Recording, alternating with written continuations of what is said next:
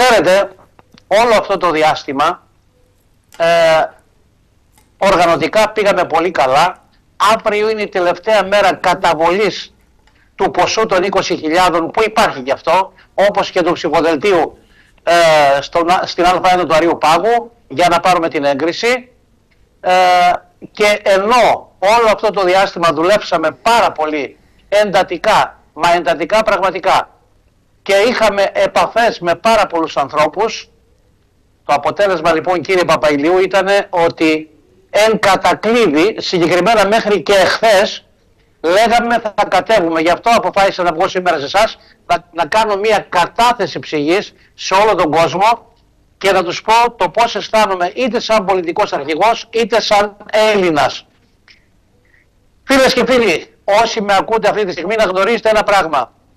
Ότι η Λέγκα του Βορρά ξεκίνησε πριν πέντε χρόνια, ήρθε για να υπάρχει στο σκηνικό, στο πολιτικό σκηνικό της χώρας και θα υπάρχει για τα επόμενα χρόνια σίγουρα. Κύριε Παπαϊλιού, σαν Βόρεια Λέγκα λοιπόν εμείς οργανωμένοι κανονικά με όλα τα δεδομένα ενός κόμματος παραμείναμε, παραμείναμε πιστές, πιστοί όλοι, πιστές και πιστοί όλοι οι φίλοι στις αρχές και τις αξίες που πρεσβεύει η Βόρεια Λέγκα και ενσωματώνονται στο, στο τρίπτυχο πατρίς θρησκεία οικογένεια η οποία πλέον δεν υπάρχει στη χώρα. Γνωρίζουμε όλοι από το 9 και μετά πόσα καταστροφικά μέτρα περάσαν από τη χώρα μας που μας τα επιβάλλανε οι δυνάστες και δανειστές μας.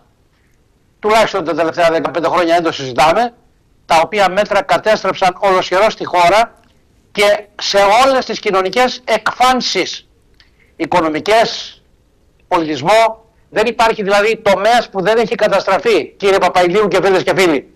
Μαζί με αυτά λοιπόν διέλυσαν με νόμους που ψήφισε το ελληνικό κοινοβούλιο το κοινωνικό ιστό της χώρας, το ζούμε τελευταία, τον κοινωνικό ιστό της χώρας που αυτός συμπυκνώνεται στο κύτταρο της κοινωνίας που λέγεται οικογένεια. Καταστράφηκε γι' αυτό.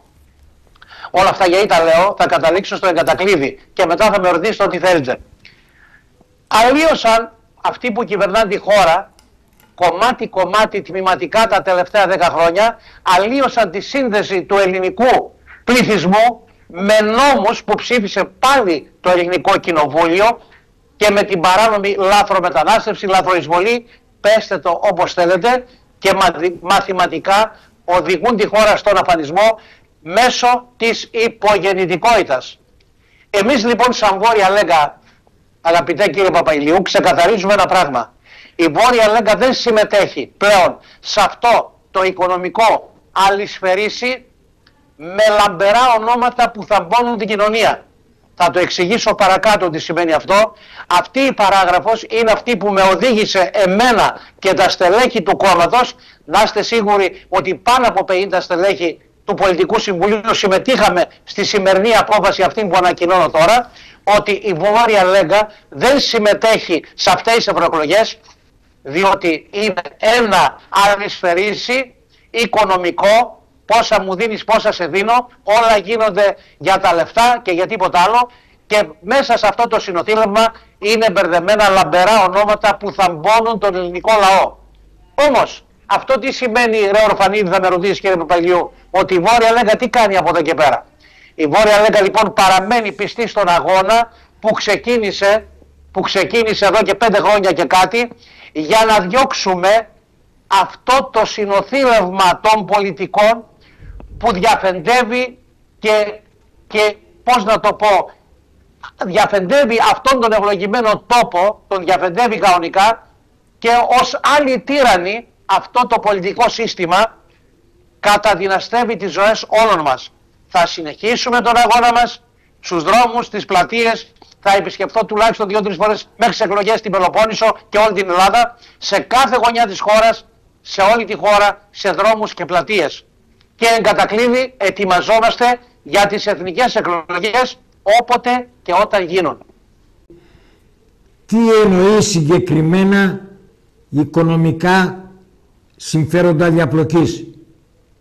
Ε, ανέφερα ότι, ότι όσοι συμμετέχουν, όσοι συμμετέχουν σε αυτά τα ψηφοδέλτια είτε τα μικρά κόμματα, τα εκτός Βουλής, τα πολύ μικρά όπως είμαι και εγώ, είτε τα μεγάλα, γίνεται πάντα ένα οικονομικό αλυσφαιρίσι. Αυτή ήταν η, η, η, η, έννοια του λόγου που είπα, ότι γίνεται ένα οικονομικό αλυσφαιρίσι. Ξέρετε, δεν θα αναφέρω ονόματα, αλλά σε αυτό το μεσοδιάστημα των τελευταίων 40-50 ημερών είχα πάμπολες επαφές με αρκετά λαμπερά ονόματα με τα οποία πάντα η κουβέντα ήταν πόσα δίνεις, πόσα παίρνω, τι μου δίνεις, τι θα πάρω.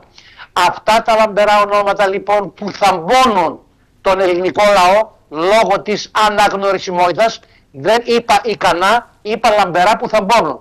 Αυτά τα ονόματα λοιπόν δυστυχώς για μας, δυστυχώς για τον ίδιο τον λαό, δυστυχώς και για τα μεγάλα κόμματα, θα αναφέρουμε πάρα πολλά, τώρα μιλάω για μένα, δυστυχώς αλλοιώνουν τον εγκέφαλο του, του Έλληνα, τον θαμπώνουν και πέφτει τα μάτια, πέφτουν τα μάτια του πάνω σε αυτόν τον λαμπερό άνθρωπο και εσύ Πελοποννήσι, εσύ από τον Άπλιο φίλε Κώστα και εσύ φίλε ε, πολλά ονόματα, από την κάτω Αγαγιά, από πάρα πολλά ονόματα. Εσύ λοιπόν που αγωνίζεσαι δεν έχεις καμία αξία και θαμπώνεσαι από αυτά τα λαμπερά ονόματα και πηγαίνεις και τους ψηφίζεις. Και εγώ σαν πολιτικός αρχηγός θα πρέπει να κάθομαι αμήχανα και να λέω τι πρέπει να κάνω τώρα. Επειδή λοιπόν ο αγώνας της Ελλάδος και του Έλληνα και των πολιτικών κομμάτων για μένα είναι στην Ελλάδα, είναι εδώ που είναι το πρόβλημα, κατ' εμέ, αν με ρωτούσατε προσωπικά, κύριε Παπαϊλίου, σας το είπα και σε προηγούμενες εκπομπές, δεν την πιστεύω αυτή την Ευρώπη έτσι όπως δομήθηκε.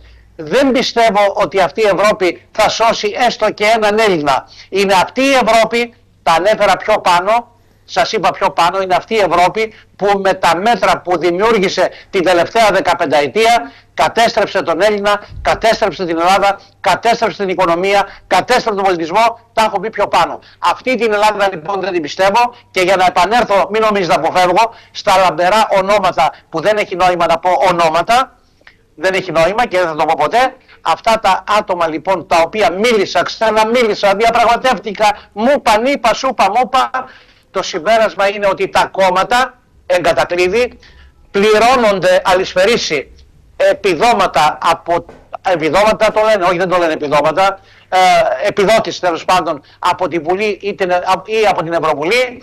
Και με αυτά τα λεφτά λοιπόν τα κόμματα που διαχειρίζονται εκατομμύρια τη στιγμή που για τον ελληνικό λαό δεν υπάρχει φράγκο, αυτά τα εκατομμύρια που καρπώνονται τα κόμματα θα πρέπει να τα μοιράσουμε αναλογικά γιατί εγώ στα έφερα, εσύ μου τα έφερες, να το πω σε ποδοσφαιρικούς όρους. Ο ποδοσφαιριστής που παίρνει τα γκολ λοιπόν και βάζει γκολ η ομάδα αξίζει πιο πολλά, παίρνει πιο πολλά. Και εγώ σαν πρόεδρος κόμματος που ασχολούμαι με τον πόνο του Έλληνα θα πρέπει να ασχολούμαι ως σαν πρόεδρος ποδοσφαιρικής ομάδας και να λέω αν αυτός ο παίκτης νικήσει και πάρουμε επιδότηση δικαιούται και αυτός. Με αυτή τη λογική λοιπόν εγώ δεν μπορώ να συμμετέχω, το είπα πιο πάνω, δεν μπορώ να συμμετέχω σε αυτό το οικονομικό αλυσφαιρίσι, δεν μετέχω, δεν είναι οι εθνικές εκλογές, δεν είναι ο πόνος του Έλληνα, είναι, είναι καμιά τριανταριά, σαρανταριά υποψήφοι που από τα μικρά κόμματα ενδεχομένως να βγει ένας ή κανένας. Απλώς θα λέμε πήγαμε και εμείς στο πανηγύρι και συμμετείχαμε σε αυτό το λαϊκό πανηγύρι. Και ξέρετε τα έξοδα είναι αρκετά. Δεν είναι 2 χιλιάρικα, 5 χιλιάρικα, 10 χιλιάρικα, 20 χιλιάρικα. Το πανηγυράκι όσο οικονομικά και αν το κάνετε ξεπερνάει τα 50-60 χιλιάρικα ένα και αν θέλουμε να έχουμε επιτυχία θα πρέπει να ετοιμάσουμε 200, 300, 500 για να πληρώσουμε γκάλοπ, να πληρώσουμε μεγάλα κανάλια, να πληρώσουμε μεγάλους δημοσιογράφους. Αυτό το οικονομικό αλυσφαιρίσι λοιπόν ένα μικρό κόμμα δεν μπορεί να το αντέξει πρώτον και σε αυτό το οικονομικό αλυσφαιρίσι λοιπόν αν θέλω να λέγομαι καθαρός και τίμιος Έλληνας δεν μπορώ να συμμετέχω. Να, να μας κρίνετε, να μας, να μας πείτε πώς βλέπετε εσείς τις επιλογές που κάνουν τα μεγάλα κόμματα για τους υποψηφίους στην Ευρωβουλή. Βεβαίως, έχω ακούσει τον αυτιά να λέει τη λέξη πατρίς, θρησκεία, οικογένεια. Δηλαδή την οικογένεια που πριν δύο μήνες ο κύριος Πρωθυπουργός, ο πρόεδρος του, την καταπάτησε με τον νόμο των ΛΟΑΤΚΙ, αυτή την οικογένεια πρεσβεύει ο κύριος Αυτιάς. Δουλευόμαστε όλοι. Έχω δει τον Θοδωρήτο Ζαγοράκη που είναι και φίλος και δεν θα πω ποτέ κακιά κουβέντα, να είναι Νέα Δημοκρατία δύο φορές 5-10 χρόνια στην Ευρωβουλή και ξαφνικά να κάνει μεταγραφή να πηγαίνει στο Πασόκ. Σας είπα γίνονται μεταγραφές και μάλιστα μεταγραφές ωραίες. Εσύ έχεις οπαδούς του ΠΑΟΚ, θα φέρεις σταυρούς, είσαι καλός παίχτης, θα σε βάλουμε εκεί. Όμως, κύριε Παπαϊλιού, για να μιλήσουμε, επειδή έρχονται και μέρες, μέρες πασχαλινές, μέρες των θαυμάτων, μέρες που ανασταίνεται ο Κύριος, λοιπόν, έχω να σας πω το εξής. Η Ελλάδα, η Ελλάδα μας, η χώρα μας, γιατί να μιλήσουμε για αυτές τις εκλογές και να μην μιλήσουμε γενικότερα για τους, αρχηγούς, για τους αρχηγούς μας. Η Ελλάδα λοιπόν είναι η χώρα των θαυμάτων. Γίνονται θαύματα. Στη μετα, μεταπολιτευτική Ελλάδα, κύριε Παπαϊλίου και φίλες και φίλοι, τα θαύματα είναι σε έξαρση. Η χώρα είναι αυτή που κοιμάσαι το βράδυ και ξυπνάς το πρωί αρχηγός κόμματος. Παρένθεση Κασελάκης.